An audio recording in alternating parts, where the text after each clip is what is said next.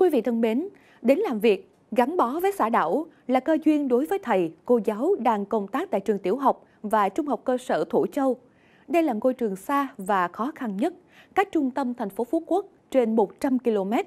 Điều kiện đi lại còn nhiều khó khăn, cơ sở vật chất còn hạn chế. Nhưng với tình yêu biển đảo, yêu nghề, yêu những ánh mắt ngây thơ, hồn nhiên của các em học sinh đã tiếp thêm động lực để các thầy cô giáo kiên trì bám trường, bám lớp, quyết đem con chữ đến với các em vùng xã đảo xa xôi. Nhiều lần có ý định quay về đất liền dạy học, nhưng với tình yêu nghề, mến trẻ, niềm tin yêu của phụ huynh học sinh, người dân trên đảo đã tiếp thêm động lực giúp cô Võ Thị Kim Anh vượt qua khó khăn, bám trụ tại đảo và tiếp tục cống hiến cho sự nghiệp giáo dục. À, đầu tiên thì cuộc sống à, bước chân ra đây thì lên đên trên biển gần 8 tiếng đồng hồ, cái thời sắc à, tàu sắt còn chạy à, rất là khổ. Rồi ra đây thì lại không có điện, nhà cửa thì không có, mọi thứ thì phải hai bàn tay trắng để à, làm lại.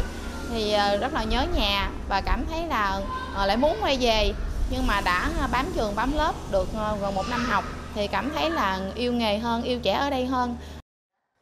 Lớn lên ở đảo, gắn bó với mái trường suốt thời gian tiểu học và trung học cơ sở, thầy giáo Nguyễn Văn Bình là người hiểu và biết rõ nhất những khó khăn, vất vả của thầy cô giáo từ đất liền ra đảo dạy học và sự thiếu thốn cả vật chất lẫn tinh thần của các em học sinh xa đảo. tuy nhiên bản thân cũng là con em của xã đảo Phú Châu được đi học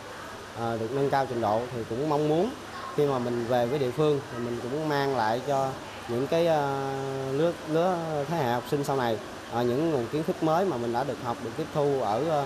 Ờ, ở những nơi khác. Trường tiểu học, trung học cơ sở Thổ Châu hiện có 3 cấp học, mẫu giáo, tiểu học và trung học cơ sở với 12 lớp và 311 em học sinh. Những năm gần đây, đội ngũ giáo viên ngày càng được nâng cao, cơ sở vật chất, thiết bị dạy và học được đầu tư hơn. Ban giám hiệu nhà trường thì cũng thường xuyên là tạo điều kiện cho cán bộ, giáo viên là à, đi học các cái lớp nâng cao như lớp à, tại chức vào các cái à, buổi học thứ bảy, chủ nhật qua hình thức học online hoặc là học từ xa và cái hình thức là sẽ học vào hè để nâng cao cái trình độ chuyên môn nghiệp vụ của mình, đáp ứng cái nhu cầu giảng dạy trong cái